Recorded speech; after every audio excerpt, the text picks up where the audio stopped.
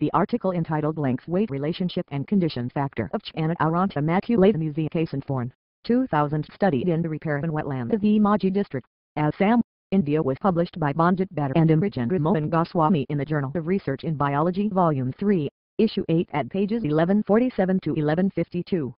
The summary of this article goes on as follows.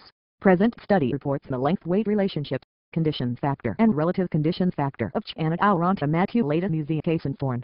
2000 The hole dwelling snakehead endemic fish species Goswami et al. 2006 Vishwanath and Geetakumari 2009 The riparian wetland habitat of Dhemaji district, Assam.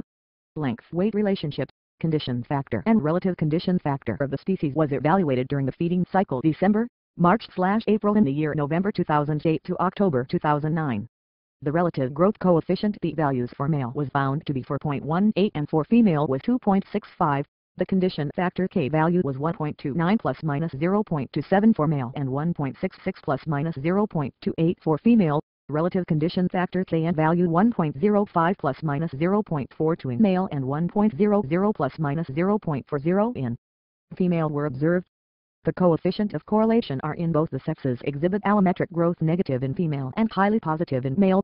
You may also publish your research articles with us with good peer review and elite standards. Kindly visit www.jresearchbiology.com for further details. For submission, submit your articles to submit at jresearchbiology.com. Thank you for listening us. Keep watching and learn good. This audio was brought you by www.rjol.org.